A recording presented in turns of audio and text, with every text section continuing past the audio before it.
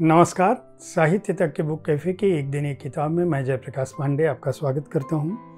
और आज मैं पुस्तक मेले में खोई भाषा, प्रभात गोस्वामी के इस व्यंग संग्रह के साथ उपस्थित हूँ। प्रभात गोस्वामी 5 मार्च उन्नीस सौ उनसठ को बीकानेर में पैदा हुए। हिंदी साहित्य से उन्होंने स्नातकोत्तर और पत्रकारिता एवं जनसंचार में डिप्लोमा किया। है 1978 से खेलों सांस्कृतिक और साहित्यिक विषयों पर लिखते रहे हैं। हज़ार से अधिक लेख प्रकाशित हो चुके हैं। व्यंग देश के लगभग सभी बड़े पत्र पत्रिकाओं में प्रकाशित हो चुका है और बहुमत की बकरी, चुगली की गुगली और ऐसा भी क्या सेल्फियाना। ये व्यंग संग्रह उनके प्रकाशित हो चुके हैं। आठ साझा व्यंग संग्रहों में भी उनकी चीज़ें आ चुकी हैं। रेडियो कमेंट्री के जाने माने ये हस्ताक्षर रहे हैं। आँखों देखा हाल टेस्ट मैच से लेके एक दिवसीय अंतर्राष्ट्रीय क्रिकेट मैच टी ट्वेंटी और रणजी ट्रॉफी सभी का कर चुके हैं। दुनिया भर में घूम चुके हैं। लेकिन क्रिकेट कमेंटेटर से इतर प्रभात गोस्वामी की जो अपनी पहचान मैं कह सकता हूँ, वह मारक व्यंग की है। व्यंग की उनकी यह पुस्तक पुस्तक मेले में खोई भाषा अपने आप में यह बताती है कि वह कितने महत्वपूर्ण हमारे समय के और कितने मारक व्यंगकार हैं। इसमें कुल चौवालीस व्यंग शामिल हैं उनके। और उनकी भाषा और प्रवाह का क्या कहना? मैं कुछ जानकारी देता हूँ आपको कुछ व्यंग के बारे में।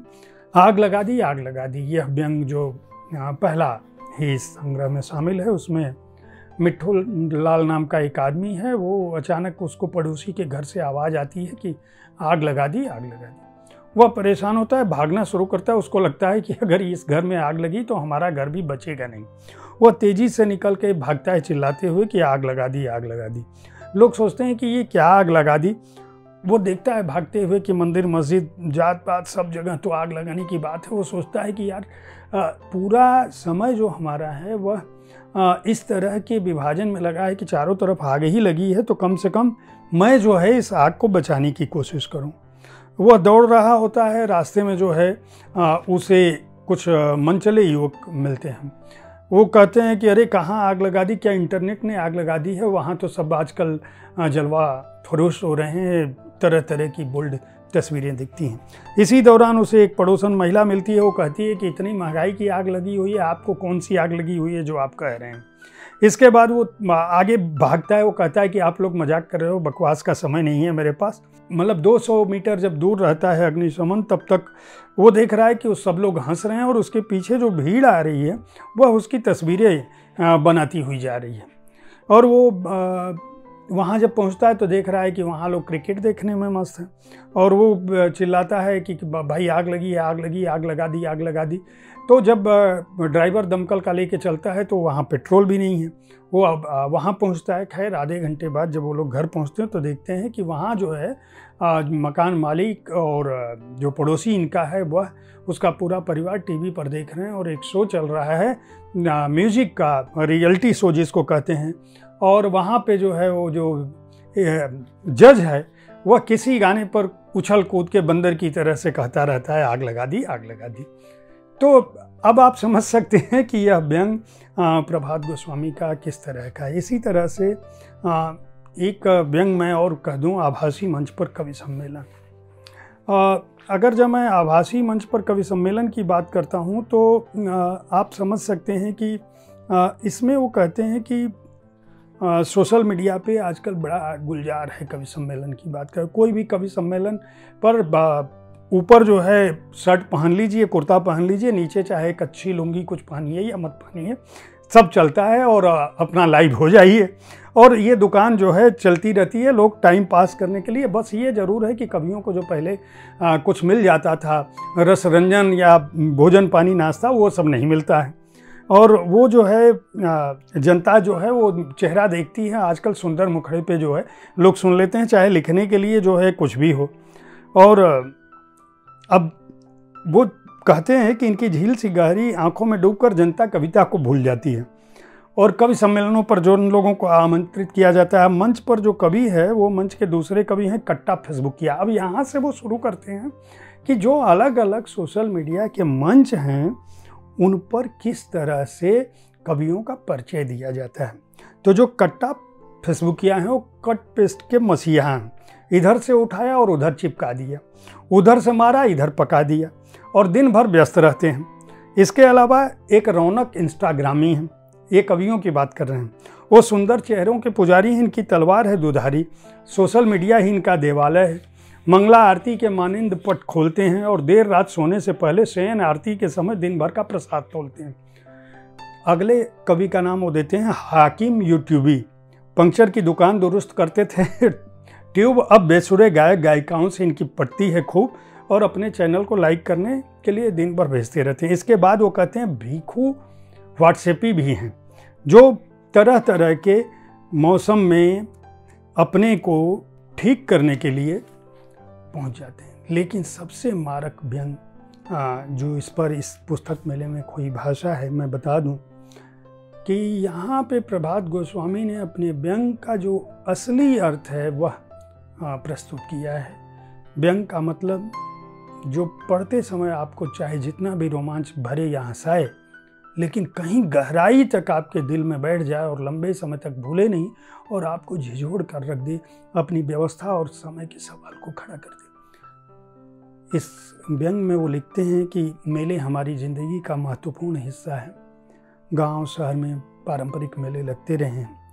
पशुओं से लेकर पुस्तकों तक के मेले, आदमियों को लुभाते रहे और उस मेले में बहुत सारे लोग खो भी जाते थे। पुराने फिल्मकार, उन खोए लोगों पर बिछड़े लोगों पर बहुत सारी फ़िल्में इस थीम पर बनाए हैं कि जो लोग बचपन में मेले में गुम गए थे, वो कभी बाह का निशान और कोई टैटू देख के और कोई पहचान पाके सालों बाद मिल जाते थे। लेकिन वो कहते हैं कि एक विशाल पुस्तक मेले में एक लेखक के साथ उसकी बेटी, जिसका नाम था भाषा, वह मेले में गई। और जब वह लेखक पुस्तकों की दुकान में अलग अलग किताबें देख रहा था तब वह भाषा खो गई। और लेखक से जब वो भाषा खो गई, उधर भाषा दिखाई नहीं पड़ी। भाषा उधर अपने पिता को ढूंढ रही है और पिता जो है बेटी को ढूंढ रहा है, लेखक यानी भाषा को ढूंढ रहा है और भाषा अपने लेखक को ढूंढ रही है। उसी समय भाषा को रोती गाती देखकर जो एक मेले में किनारे बैठी थी, एक चालू पब्लिशर प्रकाशक जो है उसको पकड़ के ले जाता है। और वह लालची नज़रों से भाषा को देखकर कहता है कि चलो मैं तुम्हारे पिता से मिलवाता हूँ। और जिस तरह से खोए हुए बच्चे को कोई गुंडा मवाली ले जाता है और बाद में उससे भीख मंगवाता है या काल कोठरी में डाल देता है या कभी लड़की हुई तो कोठे पर बेच देता है, उसी तरह से वह मासूम भाषा जो है उस प्रकाशक पर, जो बाजारू प्रकाशक है, सस्ताऊ साहित्य छापता है, वह उस पर विश्वास करती है और उसके साथ चली जाती है और वो ले जाके चालू साहित्य का प्रकाशक उस भाषा को अपने छापे खाने की काल कोठरी में बंद कर देता है। भाषा डर से थर थर काँप रही है, लेकिन प्रकाशक का दिल पसीजता नहीं है।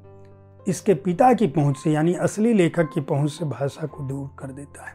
उधर पिता को जब कोई पाठक नहीं मिलता है और वो परेशान होता है, बेटी खो गई है, वह एक मुकाम से दूसरे मुकाम तक ढूंढता रहता है अपनी बेटी को। लेकिन उस लेखक को खोई हुई भाषा नहीं मिलती है। सालों बाद जब भाषा बड़ी हो गई है, तब उसकी मासूमियत खो गई है। उसकी ज़िंदगी में आक्रोश है, बचपन के खो जाने का दर्द और बिगड़ी संतानों जैसी दरिंदगी उसके अंदर है। आज उसे प्रकाशक, फ़िल्म निर्माता, राजनीतिक हस्तियाँ पैसों की चमक दिखाकर अपने हित साधने के लिए धड़ल्ले से इस्तेमाल कर रहे हैं।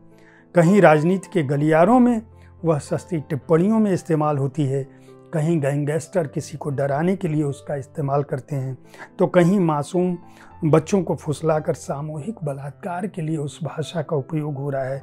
कहीं बॉस अपने मातहत को टारगेट पूरा करने के लिए गाली गलौज का माध्यम बना रहा है भाषा को तो कहीं चुनाव में बिगड़ी हुई राजनीति को चांदी काटने और पक्ष विपक्ष के खिलाफ जहर उगलने में भाषा का इस्तेमाल हो रहा है। भाषा आज प्रेमचंद की कहानियों दिनकर से लेकर नीरज की कविताओं और गीतों से धर्मवीर, भारती, मनोहर, श्याम जोशी के उपन्यासों या हरिशंकर परसाई और शरद जोशी के व्यंग बाणों से निकलकर कहीं खो गई है। अब फ़िल्मों में न तो साहिर लुधियानवी है, न राजेंद्र कृष्ण, न शरद जयपुरी, न शैलेंद्र। भाषा ब्रेथलेस और रेपर्स के ज़माने की हो गई है, जो भाषा के साथ रेप कर रहे हैं। खोई हुई भाषा विविध रूपों में कितनी बिगड़ी हुई है, इसे O T T web series और फ़िल्मों पर आप देख सकते हैं।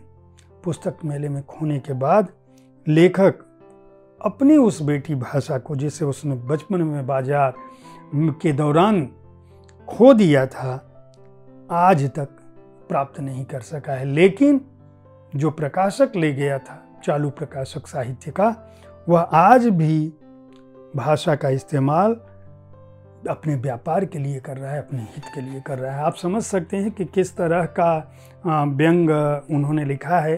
चाहे मीडिया हो, चाहे साहित्य हो, चाहे समाज हो, चाहे राजनीति हो, चाहे खेल का मैदान हो, चाहे प्रसारण हो, जीवन के जितने भी पहलू हो सकते हैं, चाहे पालतू कुत्ते हों या उन कुत्तों का आतंक हो, चाहे वह नशा हो, हर विषय पर, चाहे वह शहर हो, शहर की गलियाँ हों शहर का व्यापार हो, पुरस्कार हो, पुरस्कारों की राजनीति हो, हर विषय पर प्रभात गोस्वामी ने व्यंग के माध्यम से अपनी कलम चलाई है। अगर आप अच्छे व्यंग को पढ़ना चाहते हैं तो इस पुस्तक को खरीद कर पढ़ सकते हैं। पुस्तक मेले में खोई भाषा इसके प्रकाशक हैं। इंडिया नेट बुक्स, मैंने पहले ही बताया 104 पृष्ठ संख्या है, चौवालीस व्यंग इसके अंदर शामिल हैं। मूल्य केवल दो सौ रुपये है। उम्मीद है साहित्य तक का यह एपिसोड आपको पसंद आया होगा। इस कार्यक्रम में आप किस तरह की पुस्तकों की चर्चा चाहते हैं, इसके बारे में अपनी राय से हमें ज़रूर अवगत कराएँ। हमारी कोशिश होती है कि विविध विधाओं की पुस्तकों के साथ आपके पास उपस्थित हूँ, ताकि आपको अच्छी पुस्तकों को चुनने में आसानी हो। कल ठीक इसी समय ऐसी ही किसी एक कृति के साथ फिर मिलूँगा। देखते रहें साहित्य तक। धन्यवाद।